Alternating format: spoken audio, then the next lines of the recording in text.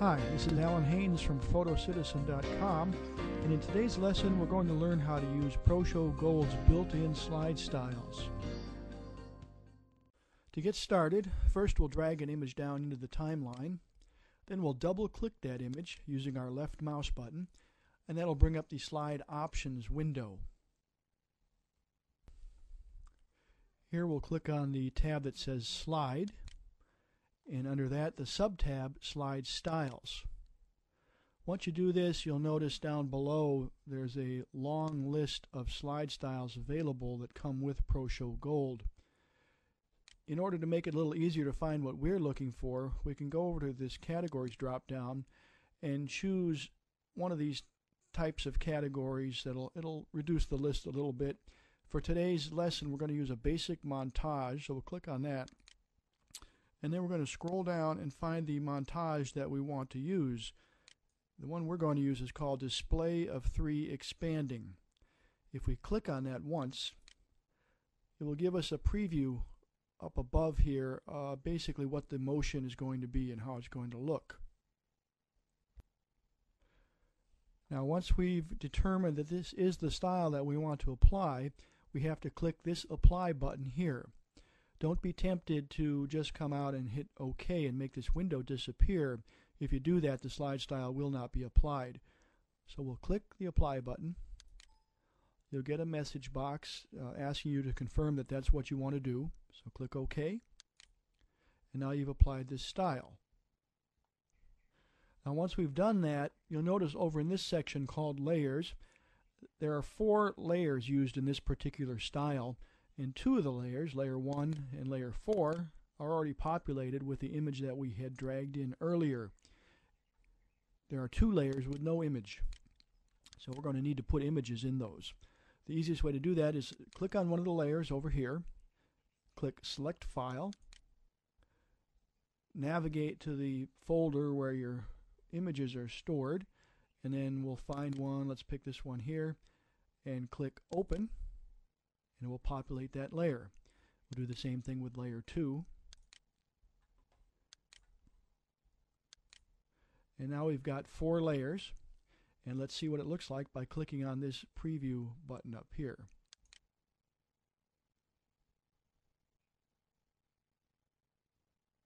You can see that it uses the first layer as an image in the uh, background and also as an image moving across the background. Now once we've got that all sorted out, we can click OK and we're done with this particular image.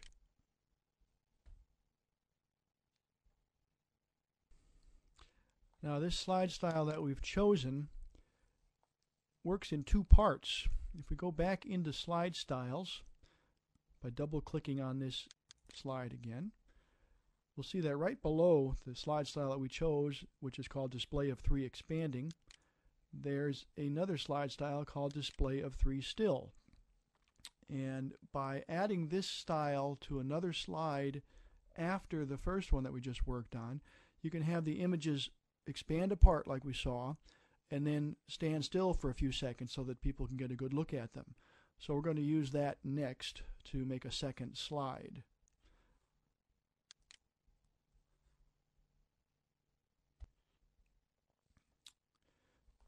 So what we're going to do again is to add a second slide here that's going to have exact same images in the exact same place but what they will do is instead of expanding they're just going to stay in that final position for a few seconds.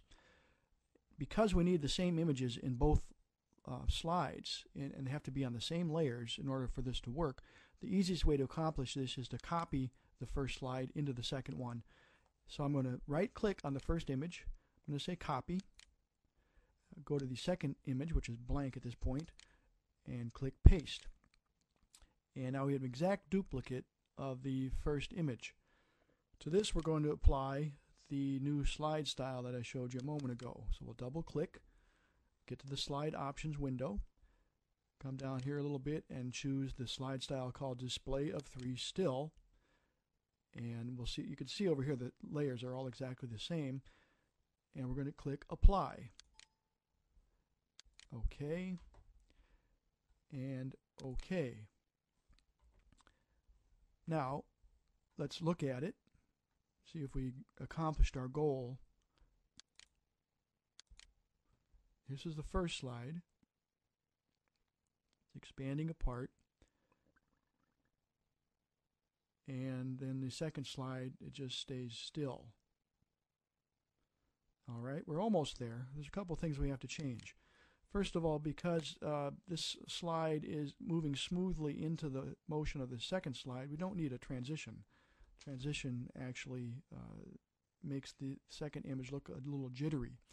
So we're going to change the transition time to zero, and we're going to click on the transition and change it to a cut transition. So cut with zero time is basically no transition at all. Let's look at it now. We'll just start it from the end of the uh, first slide, so we don't have to watch the whole thing. Here it's expanding, and then it stops. All right, now the only other problem, let's stop it for a second. The only other problem we have that we don't really want uh, this whole slide to run for 12 seconds, six seconds for the first one, six for the second.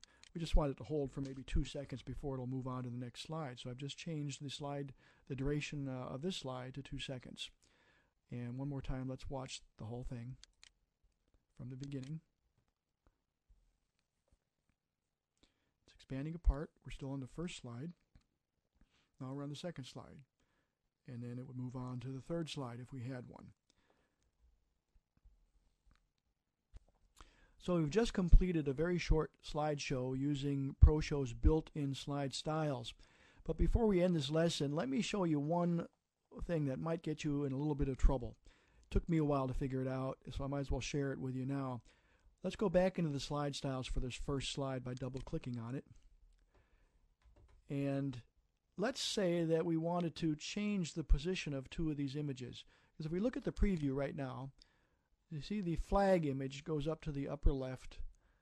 This shopping cart image kind of stays in the center. What if we wanted the flag to be in the center and the shopping cart image to be the one that's moving off to the left up here? You might think that you could just move these layers around. So let's say we could click on this shopping cart and using these arrows move this layer up above the flag. And it looks like it now the flag is the center image.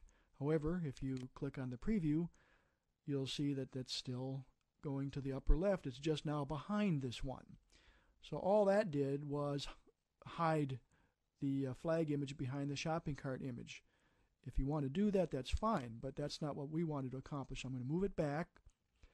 What the easiest way to do this is to just overwrite the images in these layers. So what I mean is, I'm going to click on the, the flag image. I'm going to hit select file and I'm going to replace it with that shopping cart image. Then I'm going to click on the old shopping cart image on layer 2, go to select file, and click on the flag image. And now we've just replaced the two. If we do uh, a preview now, we'll see that we have indeed accomplished what we wanted to do. The flag is now the center image. Now in order to make our show work, we'll have to do the same thing with the second slide. So let's click the next arrow over here to go to the second slide and repeat those steps. Click on layer 1, select File, grab the shopping cart image, layer 2, select File, and we'll grab the flag image and we'll hit OK. Play the whole thing back from the beginning and there we go. We've got the flag in the middle on the first slide. Now it goes to the second slide and holds. So that's today's lesson on how to use ProShow Gold's built-in slide styles. In an upcoming lesson, we'll learn how to modify a slide style and then save it as your own. So keep an eye out on photocitizen.com for more lessons on ProShow Gold.